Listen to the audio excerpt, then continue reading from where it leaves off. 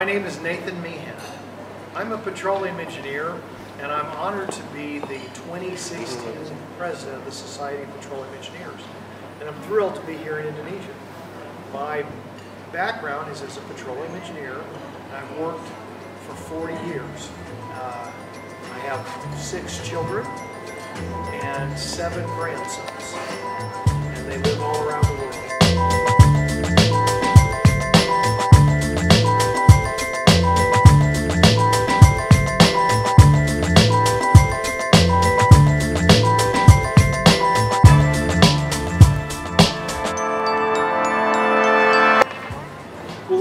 That is kind of an interesting story, to me at least. I was a physics major in Georgia, at Georgia Tech. And in the entire state of Georgia, there is not one oil well, not one gas well. So at Georgia Tech, there are no petroleum engineers. But when I started college, I filled up, on the way up in my little Volkswagen, I drove up and I filled up my tank and I paid 19 cents a gallon.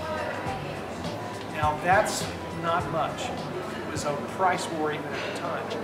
And by the time I graduated, it was 75 or 80 cents a gallon. So I knew something was happening in the oil and gas business.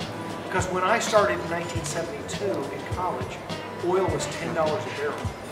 And of course, we had the OAPEC oil embargo. Not the, the OPEC oil embargo came later, but the OAPEC uh, embargo was the first one. And I did well as a physics major, and I got into law school and medical school and graduate school in a couple of different areas. But I got an interview with one of the major service companies that actually looked for me. And it's kind of a long story of why they picked me uh, to interview with them. It had to do with some of the summer work that I had done, uh, which I only, it was labor. I was peripherally involved in the oil business. And uh, in fact, they told me it was near enough to go oil well, but they said don't go anywhere near that. So I was just digging pits with the bulldozer, but it was enough of an oil industry exposure that this person uh, invited me for a job interview. And after three days on the interview, I knew that I was interested in that business, but not that I was necessarily going to work for that company. Uh, so I talked to them about alternative jobs, and they said, you should check out petroleum engineering. And I went back, and no one was interviewing for petroleum engineers, but an Amoco recruiter was interviewing for geophysicists. And I went and told him I wanted to be a petroleum engineer. He said, okay, now's a good time to be a petroleum engineer. So I learned more about it. I went to Denver for an interview. I met people with Amoco, and they offered me a summer job after I graduated from Georgia Tech. And they said, look, for us to hire you as a petroleum engineer, you have to have a degree in engineering. So you should get a master's degree.